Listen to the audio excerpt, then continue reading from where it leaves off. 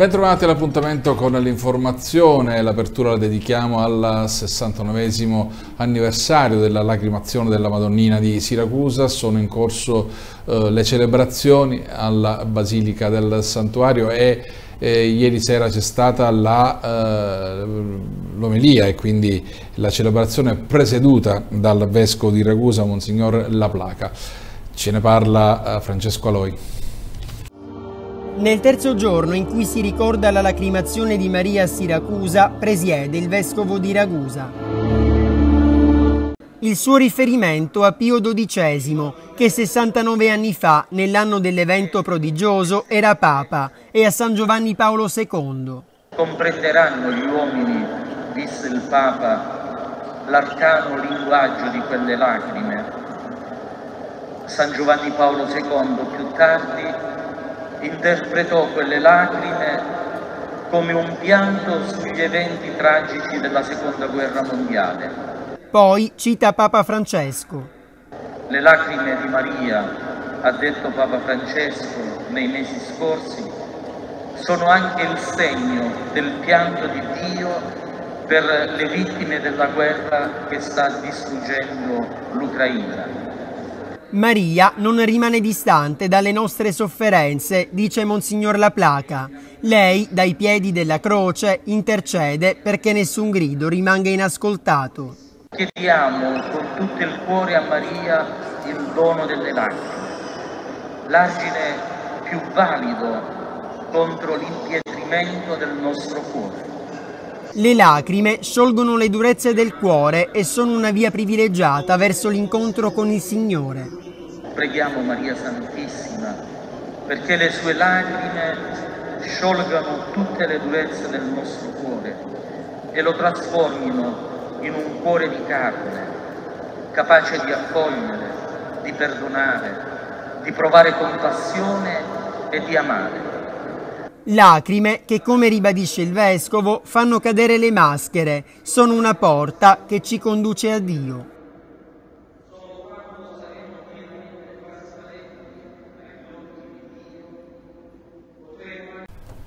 Adesso parliamo di asili nido perché da lunedì scatta il nuovo anno che vedrà, eh, e questa è una novità, eh, tutti gli asili nido comunali aperti già appunto dal primo giorno utile. E questo anche al lavoro dei funzionari del comune che hanno messo in condizione di eh, poter aprire puntualmente. È una novità assoluta anche il finanziamento di altre due nuove strutture con i fondi del PNRR. Sentiamo, sentiamo tutto nel servizio.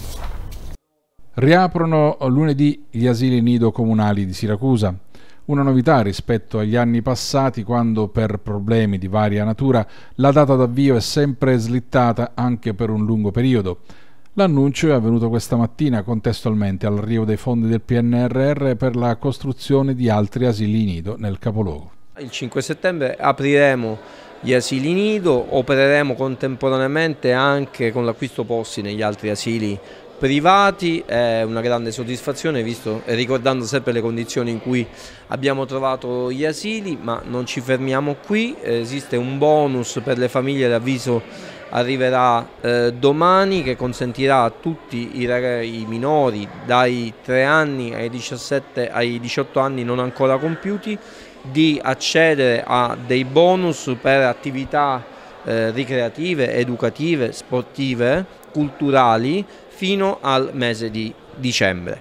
E poi la notizia che mi fa più piacere dare è che eh, oltre due, alle due scuole per l'infanzia, quindi un asilo nido e una materna che eh, abbiamo, eh, siamo riusciti a finanziare con i fondi del PNRR sia su Cassibile che su eh, Contrada Carrozziere, attraverso i fondi del PNRR ci hanno comunicato di averci finanziato altri due asili nido, uno in via Teofane e uno in via Epipoli e una nuova eh, scuola materna sempre in via Teofane. Questo significa eh, numericamente che al termine della realizzazione di questi spazi noi oltre ai 288 posti pubblici comunali che abbiamo oggi a Siracusa ne avremo altri 400 per gli asili nido, quindi per i bambini da 0 a eh, 36 mesi e poi 499 nuovi posti per le scuole materne da 3 a 6 anni. Obiettivo un asilo per ogni quartiere?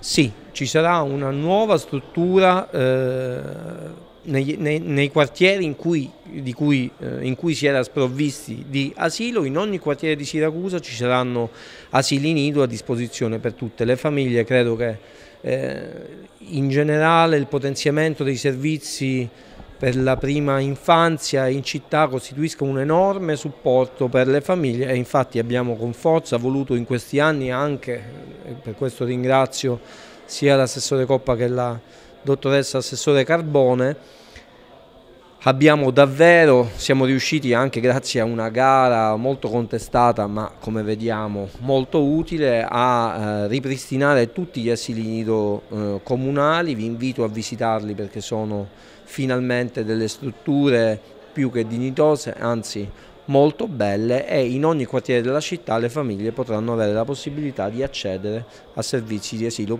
asili nido pubblici. In materia di istruzione invece dalla Regione arrivano 3 milioni e 600 mila euro per le scuole siciliane, eh, si tratta di interventi eh, per eh, prevenire il Covid. Contributi per 3,6 milioni di euro alle scuole statali siciliane di ogni ordine e grado per adeguare gli ambienti scolastici destinati ad accogliere gli studenti affinché possano essere garantite le norme di sicurezza anti-Covid.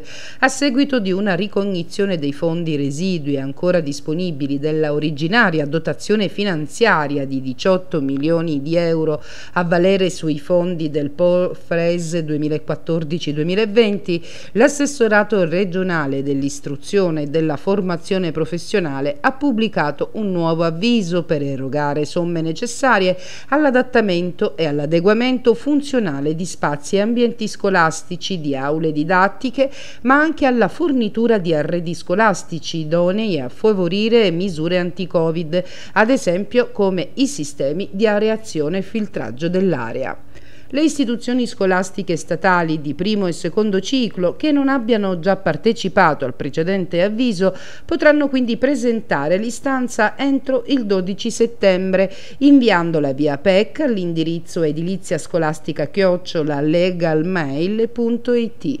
Il bando è consultabile sul sito web della Regione, della sezione dell'Ufficio speciale per l'edilizia scolastica e università.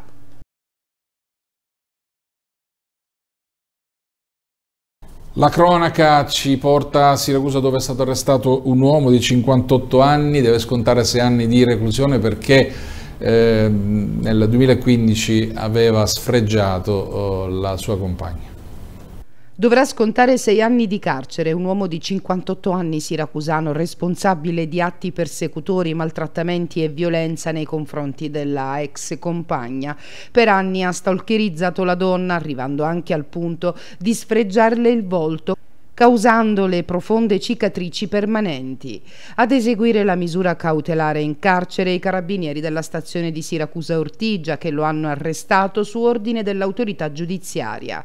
I fatti di violenza si riferiscono tra il 2016 e il 2021 mentre la coppia viveva in Puglia. Dopo l'interruzione della relazione sentimentale voluta dalla donna, l'uomo in quel periodo ha iniziato i suoi atteggiamenti violenti e persecutori. Al termine delle indagini condotte dai carabinieri e del procedimento penale è arrivata per l'uomo la condanna.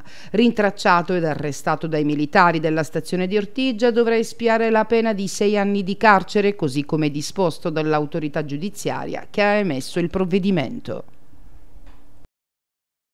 Numeri in discesa in Sicilia per quanto attiene il coronavirus nell'ultima settimana di agosto, diminuzione del 7% dei nuovi positivi, in lieve calo anche i ricoveri ospedalieri, la provincia di Siracusa si conferma una delle più contagiate. Sono in calo del 7% i nuovi positivi al coronavirus in Sicilia nell'ultima settimana di agosto. Il tasso di positività più elevato rispetto alla media regionale si è registrato nelle province di Messina, Siracusa, Trapani e Agrigento. Le fasce d'età maggiormente a rischio risultano quelle tra i 70 e i 79 anni e tra i 60 e i 69. Anche le nuove ospedalizzazioni sono in lieve diminuzione e sono 1476 i nuovi casi di Covid-19 registrati ieri sera dal bollettino quotidiano del Ministero della Salute, ben 500 in meno rispetto al giorno prima, a fronte di 11.424 tamponi processati. Il tasso di incidenza è calato di oltre due punti, passando dal 15,1 al 12,9% e la Sicilia adesso è al sesto posto in Italia per numero di contagi giornalieri. Gli attuali positivi sono 70.777, con un decremento di 473 casi. A livello provinciale è tornata Palermo ad essere la città metropolitana più colpita dal virus, davanti a Messina e Catania, ancora Enna la provincia con il minor numero di contagi nelle ultime 24 ore. Questo il report completo nelle nove province dell'isola. A Palermo 276 casi, a Messina 269, a Catania 250 poi Siracusa 130, Trapani 154, Ragusa 145, Caltanissetta 82, Agrigento 113, chiude Enna con 57 casi. I guariti sono 1925, mentre sono 24 le vittime nuove causate dal coronavirus. Sempre sotto controllo la situazione negli ospedali. I ricoverati sono adesso 426, 25 in meno rispetto al dato precedente. In terapia intensiva sono 25 le persone che occupano i posti letto, due in più rispetto al giorno prima. Bene, con questo servizio chiudiamo la prima parte del telegiornale, state comunque con noi, tra pochissimo parleremo ancora di cronaca, c'è la pagina sportiva, ci vediamo tra poco.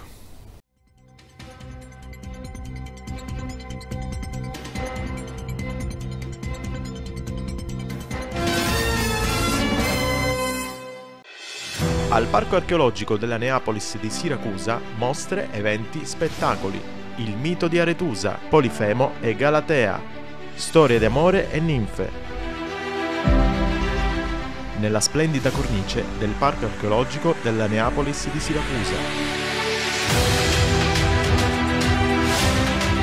Per info e biglietti visita il sito aditusculture.com. Ogni domenica e giovedì fino al 28 agosto per i residenti di Siracusa e provincia biglietto a prezzo ridotto di 15 euro. Biglietti acquistabili solo presso la biglietteria del Parco Archeologico.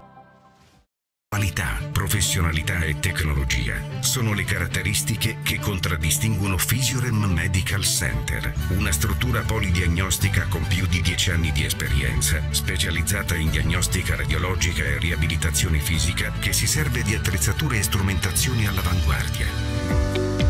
Il sistema di risonanza magnetica OpenMark 5000 rappresenta la nuova generazione di risonanza magnetica a medio campo questo sistema combina le elevate prestazioni dell'alto campo con il vantaggio di un'architettura aperta. Questo permette di ridurre sensibilmente la sensazione di ansia del paziente. Dotarci di questo macchinario ci permette di ampliare la domanda di esami diagnostici per quanto riguarda l'osso articolare. Adesso riusciamo a dare anche un'offerta per quanto riguarda la parte neuro. Physiorem Medical Center, la trovi a Siracusa.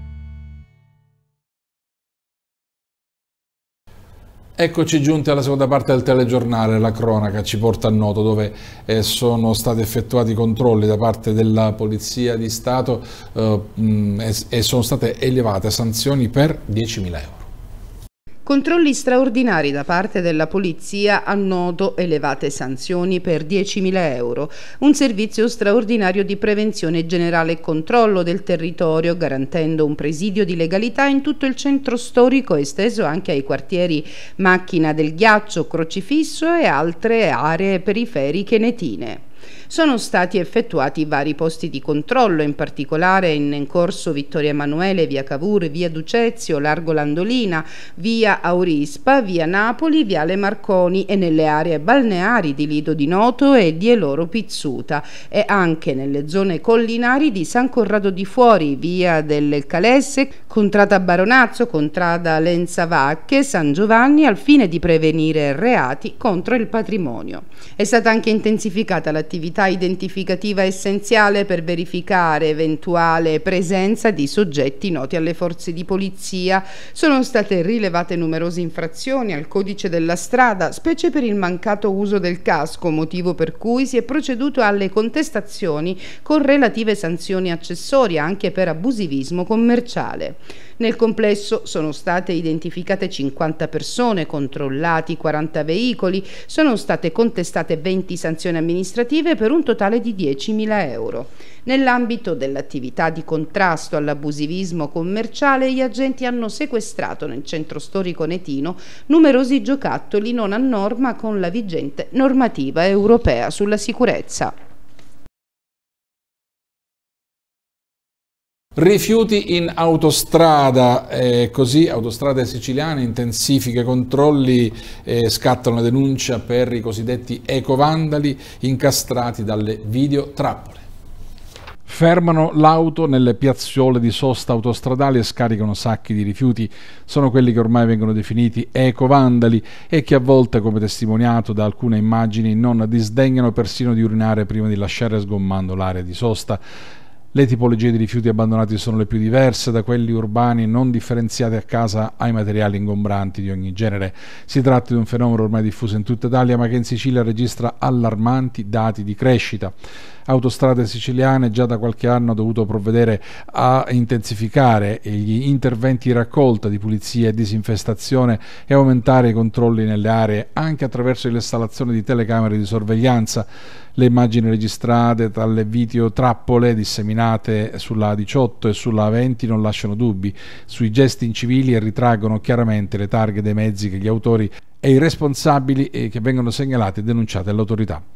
Abbandonare rifiuti in autostrada non è infatti eh, semplicemente un gesto maleducato di incuria verso un bene comune, ma un atto illegale che dal 2015 è giuridicamente inserito tra i reati all'ambiente, all'articolo 256 del testo unico ambientale. Per l'abbandono dei rifiuti, oltre all'obbligo del corretto smaltimento, è previsto anche l'arresto da sei mesi a un anno e un'ammenda che può variare tra i 775 fino ai 38.734 euro.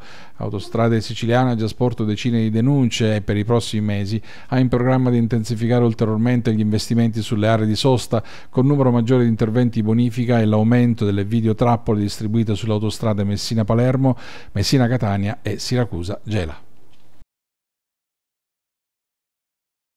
Adesso a Lentini perché mh, per l'approvazione dei bilanci eh, riequilibrati il Consiglio Comunale si è riunito, è tornato a riunirsi ieri sera, eh, come è andata ce ne parla eh, Nello Lafata. Ieri sera il Consiglio Comunale di Lentini ha approvato all'unanimità, con una sola astensione, i bilanci di previsione dal 2014 al 2018 e i documenti unici di programmazione dal 2016 al 2018 proposti dalla Giunta Municipale, chiudendo così definitivamente la prima fase della procedura di risanamento finanziario. Il lavoro continua, ha puntualizzato l'assessore al bilancio Enzo Pupillo, perché occorre ancora predisporre e approvare entro il 30 novembre prossimo i restanti bilanci di previsione e tutti i rendiconti consuntivi e di attuare la strategia condivisa dal Ministero dell'Interno per evitare un secondo dissesto e dare un nuovo orizzonte al nostro comune. I lavori consigliari si sono conclusi però con un colpo di scena da parte del Presidente del Consiglio Comunale Silvana Bosco Santocono, che con determinazione e autorevolezza ha ufficializzato la propria indipendenza politica, distaccandosi dal gruppo Francesca Reale sindaco che l'aveva fatto eleggere e di assicurare la sua collaborazione al sindaco Lofaro. Questa per me è una scelta difficile, è un atto di coraggio che fa parte della natura della responsabilità e sono consapevole dei notevoli ostacoli che mi aspettano. Pur ritenendo assolutamente legittime le richieste della coalizione Francesca Reale Sindaco, che peraltro personalmente ho perorato, in questo momento storico per la città di Lentine non ne condivido tempi e modi.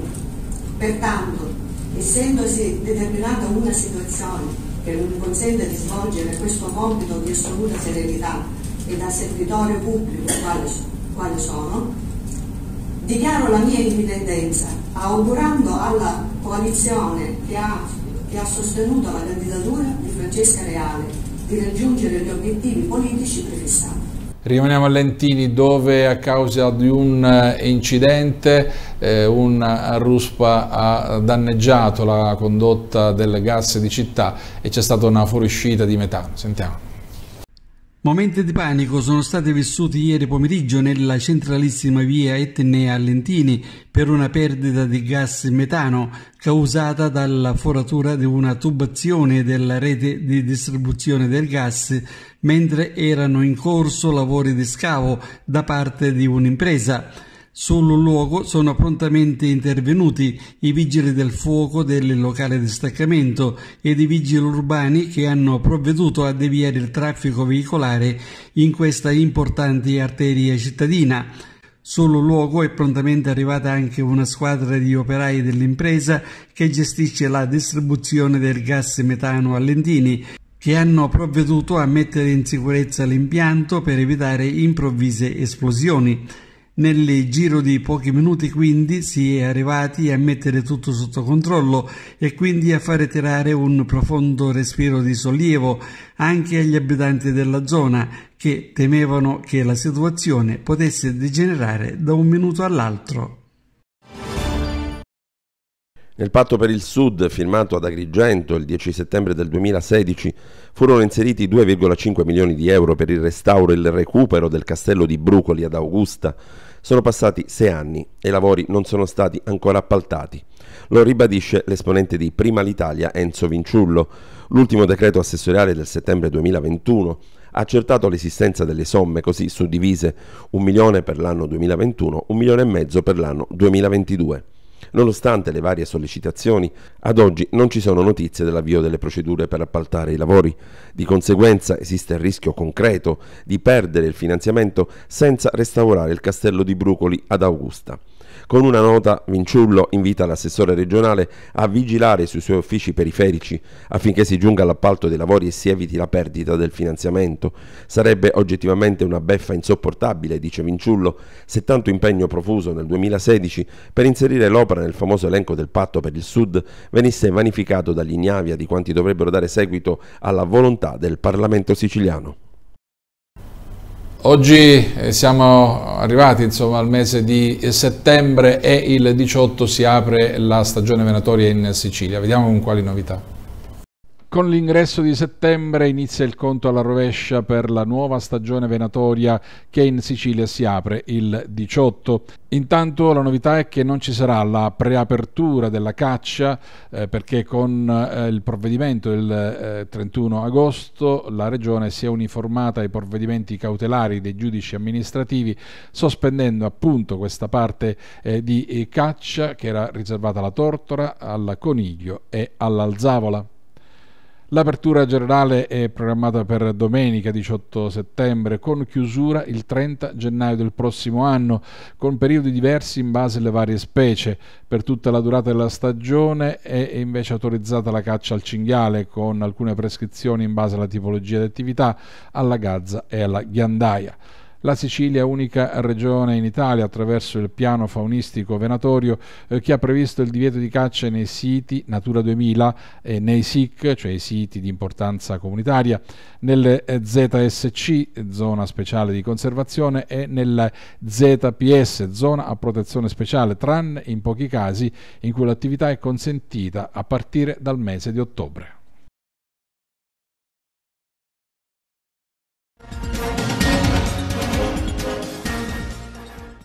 Bene, eccoci, siamo alla pagina sportiva, parliamo di kart perché, eh, perché c'è un siracusano, anzi un melillese che partecipa eh, domenica alla prova unica del campionato del mondo di kart, si tratta del, eh, del giovanissimo oh, pilota Michael Paparo, sentiamo.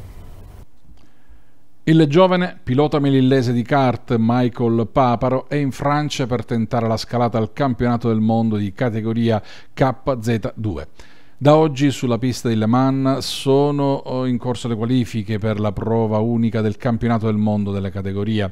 Dopo due giorni di prove libere di qualifiche, sabato ci saranno le manche per prendere punteggio e occupare il posto nella griglia di partenza della finale che si tiene invece domenica. Gli iscritti globalmente alla competizione sono 300, nella specifica categoria invece sono 126 piloti, dei quali solo 36 avranno accesso alla finale, a cui punta il campione melillese. Ancora giovanissimo, Michael ha iniziato la sua avventura kartistica nel 2011 alla guida dei minuscoli kart delfini per poi esplodere nel 2016 con la conquista di due eh, prestigiose vittorie agli internazionali della WSK eh, Champions Kart e la Supermaster Series. Da allora Michael è stabilmente nell'elite del kart internazionale con performance che lo hanno fatto crescere fino a collocarsi tra le teste di serie ad ogni gara in cui scende in pista. È considerato infatti tra i migliori 10 d'Europa nella prestigiosa KZ2 che è la classe regina del karting. Nell'edizione di quest'anno del campionato europeo eh, Paparo ha ottenuto un buon piazzamento in top 10 con particolare riferimento alla gara di Cremona.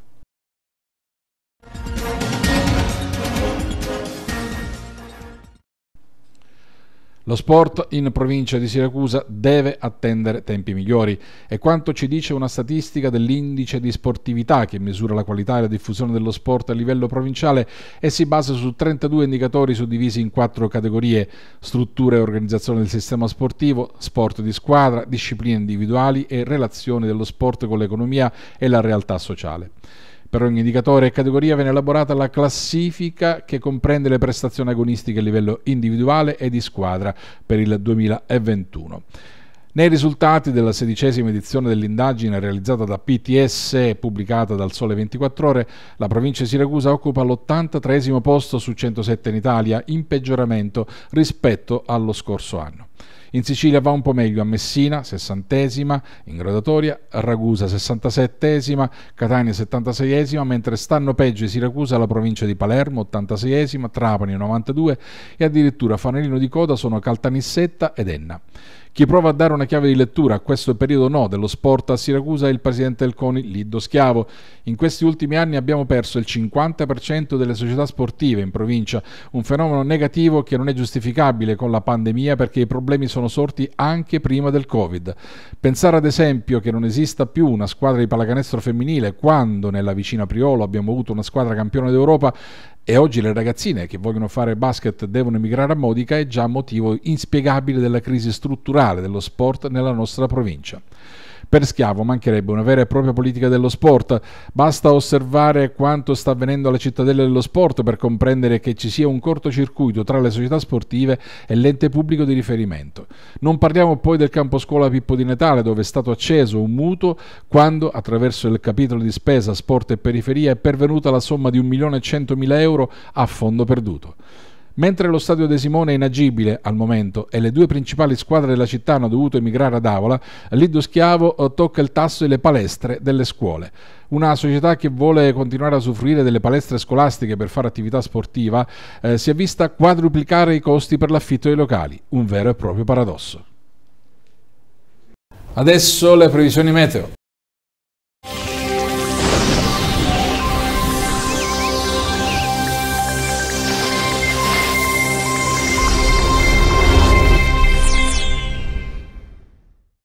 Bentrovati a un aggiornamento con le previsioni di Trebi Meteo.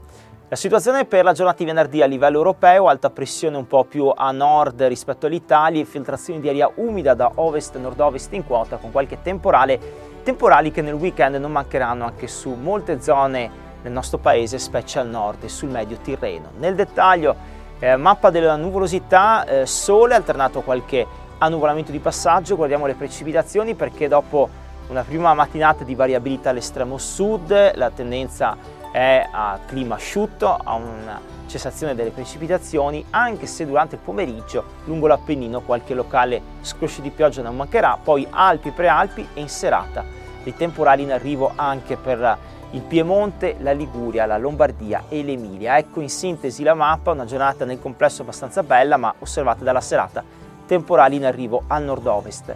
Tutti i dettagli precisi li trovate però scaricando l'app gratuita di Trebi Meteo.